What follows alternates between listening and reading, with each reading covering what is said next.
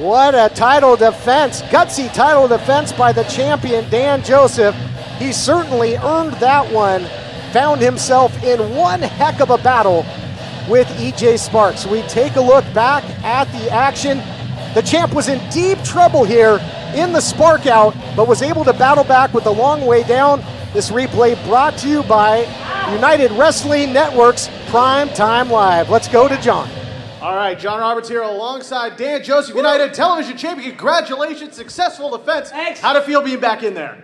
I have been waiting months, months and months throwing my kids around. That's not enough. I needed some real competition. That's why I was real excited when EJ came in. He's one of the best wrestlers in all of Arizona in the United Wrestling Network. But that's not all we got. That's not all. What's coming up? On the 15th of September, United Wrestling Network presents Prime Time Live. I'll be there.